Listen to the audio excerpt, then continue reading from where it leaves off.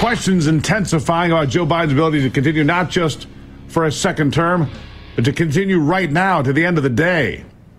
Can he make it?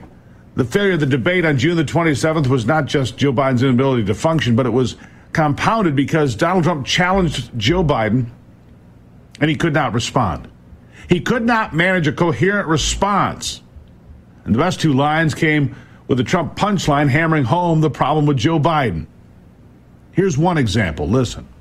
I've changed it in a way that now you're in a situation where there are 40% fewer people coming across the border illegally. That's better than when he left office.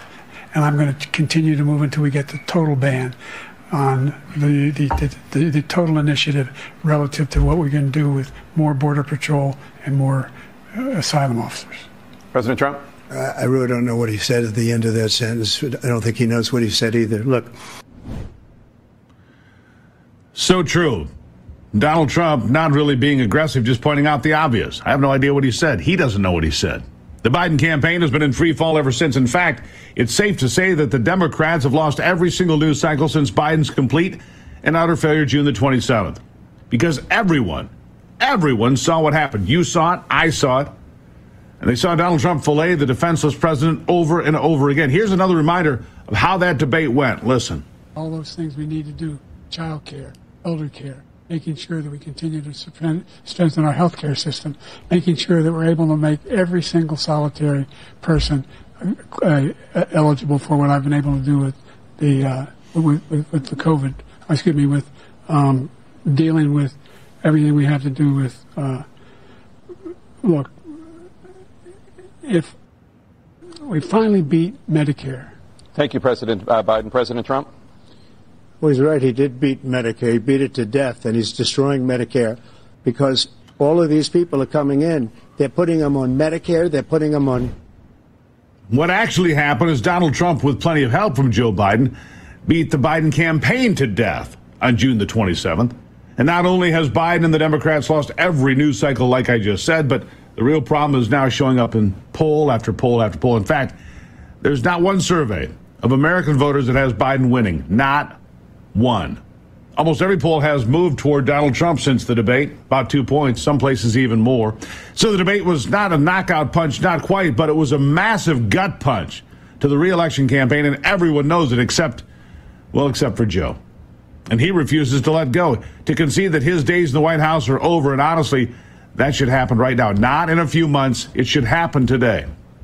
But unless he accepts his fate and steps aside, there's nothing the Democrats can do. Nothing. Biden has the pledged delegates. And this is truly dangerous because, as you first heard here weeks ago, Joe Biden, I believe, has a form of Parkinson's disease. I said that weeks and weeks ago, but you don't have to take my word for it. You can hear it from people who really know what they're talking about. On MSNBC, for example, a board certified doctor that specializes in Parkinson's disease gave a blunt and damning assessment of Joe Biden's condition. Listen to this. He has just such classic features of neurodegeneration. I mean, word finding difficulties, and that's not, oh, I couldn't find the word. That's from degeneration of the word retrieval area. He's also overcome stuttering, though. Could, could, that, could that be part of that, too? No, this is not a palatal issue or a speech discrepancy, which is very different from a lemino dysfunction, actual word retrieval, where you pick a similar question or talk around the issue, plus the rigidity, um, monotone voice. Wait, go back to that, the rigidity. What do oh, you mean? Rigidity, loss of arm swing, standing up lordotically. You know, notice when he turns, it's kind of en bloc turning. It's not a quick turn. Um, so la- la- that's one of the hallmarks of Parkinson's is rigidity and bradykinesia, slow movement. And he has that hallmark, especially with the uh, low voice that said was a cold hypophonia. A small monotone voice like this over time is a hallmark of Parkinsonism. I could have diagnosed him from across the mall. From across the mall. So we all know what's happening. And by now, so do most Americans. But Joe is hanging on, or maybe I should say Jill is hanging on to the power that they have for dear life. So, with Joe refusing to leave gracefully, the anger is starting to rise in some corners as longtime supporters and outspoken advocates are calling on Joe Biden to step down, despite his refusal to do the right thing. Longtime critic and Biden supporter and an obnoxious individual, Michael Moore, says the ongoing push to keep Joe in the race, despite what we all know, is wrong. And in fact, he says it's worse than that. He says what is happening is elder abuse. And here's more. Imagine that was your father up there. What would you want to? I'm thinking, why isn't anybody doing anything? Why didn't they do it? Why did they even let him go out on the stage in this condition? Who was looking out for him? Yeah. Who's looking out for him right now? You, you know, George asked those questions like and he had to ask it three or four times.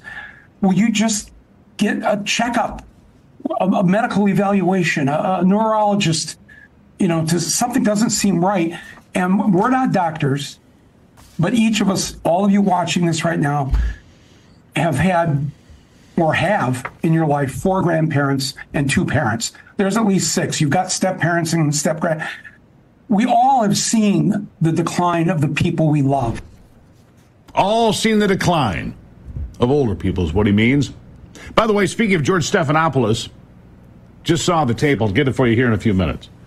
Just saw the tape. A guy on the street asked George Stephanopoulos, who's apparently out for a walk, What do you think about Joe Biden? I don't think he can serve four more years, was the answer, the exact answer. I don't think he can serve four more years. George Stephanopoulos, a partisan Democrat, working at ABC News for years now.